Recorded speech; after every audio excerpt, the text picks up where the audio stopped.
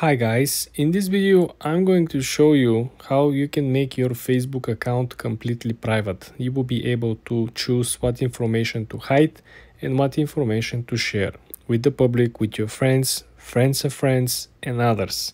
Let's dive in. First thing, let's launch the Facebook app first. Then I want you to go ahead and click on the lower right corner. Then when you're at your menu on your own profile, go ahead and hit the gear icon at the upper right. Now pay very close attention guys, this is where the magic happens.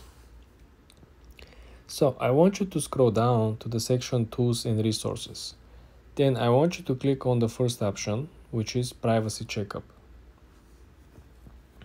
So now if you want to make our account private or simply go through the privacy settings that we have, we want to click on the first option which is who can see what you share. You want to click on this. Essentially over here guys after you click continue you will have layout of all your information that you input previously on facebook.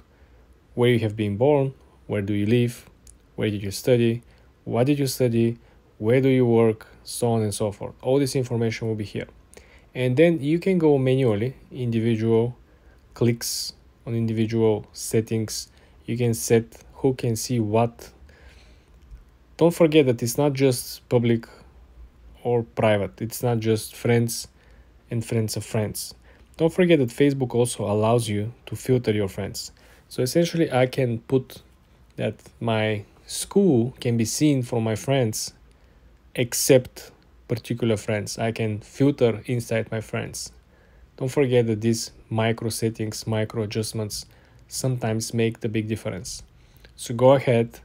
I want you to don't rush, pay very close attention and think twice who do you want to see what and what you should actually hide.